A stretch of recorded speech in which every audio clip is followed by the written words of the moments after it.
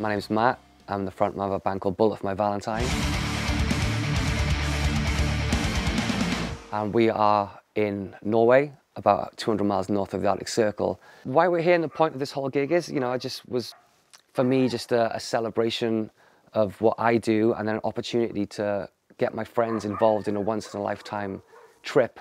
You all right? Scared? all right, all right. Basically, we are here for the first ever land, sea, and air gig. You're going to be my audience. I was actually probably more nervous than them to, to divulge the information, you know what I mean? Because I dragged them all the way here without them having any knowledge of what exactly was going on. We're going to go up 10,000 feet in a helicopter and we're going to jump out together. Once he'd said that we were jumping out of a helicopter, I don't think anything else really registered for for a little while there. It was um, yeah, it was a bit of a shock. They're braver than me in a way, you know what I mean? To, to accept a challenge like this without knowing is fantastic. World's first, and we're all going to do it together. Yeah. Is that cool? Come on, bring it on. All right, Let's let's do this. Let's do this, man. When you've got a friend who says to you, you know, are you ready? Like, will you come with me? Step into the void. You know, you're just sort of like, you're my friend. I love you. I trust you. I'm coming with you. Whatever it is, I'm there. I'm going to have a uh, acoustic guitar attached to me, which is wired up with microphones, as is my jacket.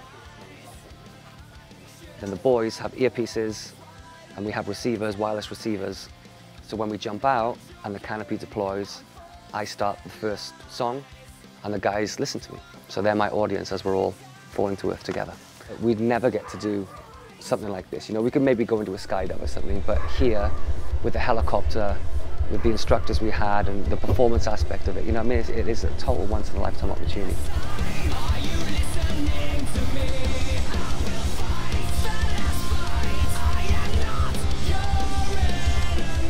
Go up in the helicopter and just kind of be freaking out anyway about what was about to happen, but then kind of having like just this visual overload of just natural beauty was amazing. The noise of the helicopter sort of churning right just above your head and this just arctic wilderness expanse below you and around you. It was um, just an incredibly sort of overwhelming place to be. I remember thinking to myself, well, at least I've got the parachute on. You know, if anything if it starts to shake around a bit, we're, we're jumping out anyway, so we're going to be okay, I think. Helicopter doors open and we're 10,000 feet up in the air. I was never going to back down, you know, I, mean, I was always going to do it, but everything in my body was telling me no. I'm literally dangling in midair. Heart's racing, adrenaline's pumping. And it was just the most intense experience. You feel like a slight rock in motion and then off we go.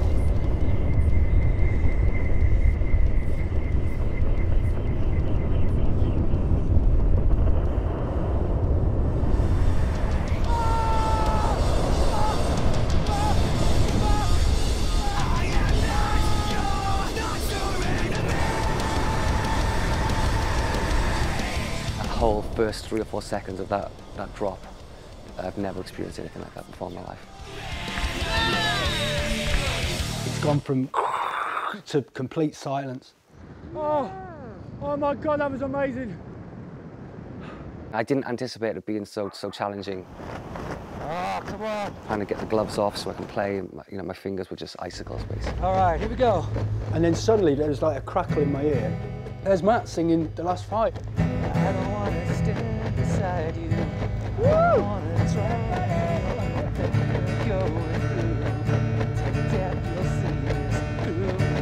I hear that song a lot, right? For the last six years, I've heard it pretty much every gig we've ever done, which is a lot of gigs. But there was something pretty special about hearing it at, at you know, a couple of miles in the air. It was amazing.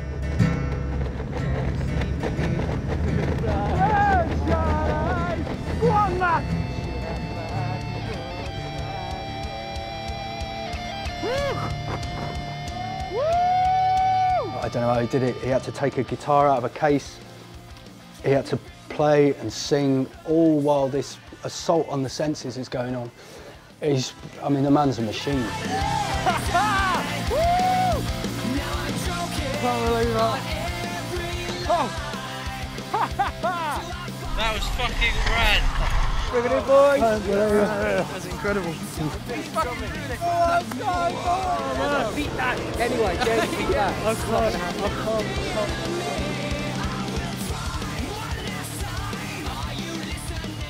We had no time to gather ourselves. I think if there was any time to really think about what happened, I would have been just out. So I would have been asleep or something. I felt so drained. I think we all did. And all of a sudden, we're, we're getting on a speedboat. Matt still got the guitar. Matt got right down, got his guitar out, and as he strummed the first chord, the boat just took off across the lake. And we all just held on for dear life. It was, it was insane.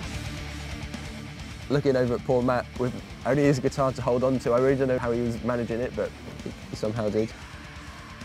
Gave a little concerned look to the pilot, uh, the boat pilot, and he sort of pulled down on throttle a bit so we could just slow down the boat just ever so slightly so that Matt was sort of safe and could actually carry on and perform the song as he needed to.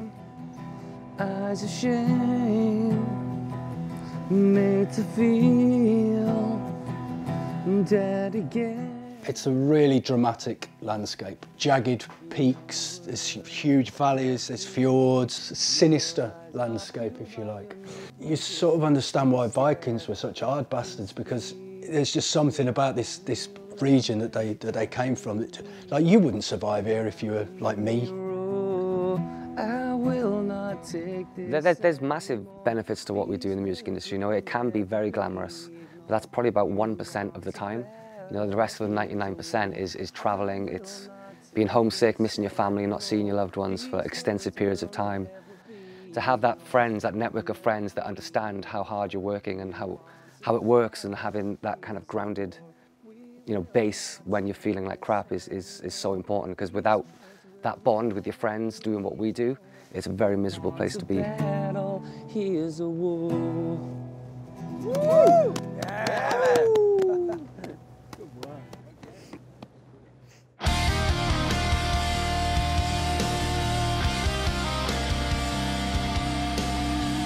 I love all animals, I really do. Going on a, a dog sled is, I mean, that's the sort of thing you see on the movies and on TV. You, you're never going to do that. You're never going to do it. You might go in a speedboat if you're lucky.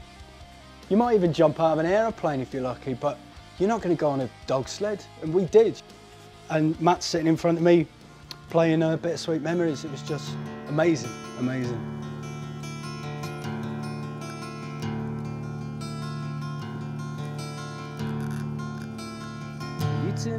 Off at the push of a button, and you pretend that I don't mean nothing.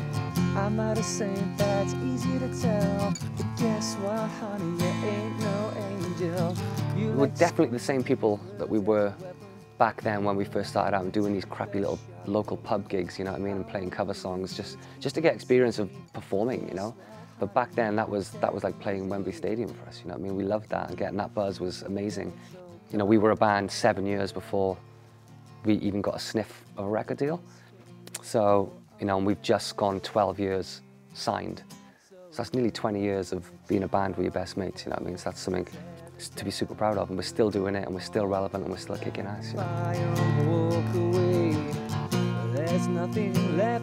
Don't let people's influences or input influence who you are and what you want to be, especially when it comes to music. That's the worst thing you can do. You know, we, we got told for years, you need to calm it down, you need to write more of a pop sound, you need, you know, no one's going to sign you, it's too heavy, blah, blah, blah. And that just motivates us even more to prove them wrong, you know? Just enjoy it, because if you don't enjoy it, it's pointless, you know? It felt like, you know, the journey was over, we'd succeeded, we'd made it there, and they, they sort of welcomed, welcomed us with open arms. So read my picture from the wall. I'm sure it helped Matt on this whole experience to know that us three were um, were there with him and, and just like really willing him on, you know. So, take the ashes. Matt is one of my best friends, and to be able to accompany him on this journey and on this adventure has been a real privilege, and I've loved every minute of it. It was a beautiful end to a, a, the craziest day of my life, I think experiencing what we have is, is just once in a lifetime, truly once in a lifetime. Thanks to Matt, we're, we're able to, to do it. It's incredible, really.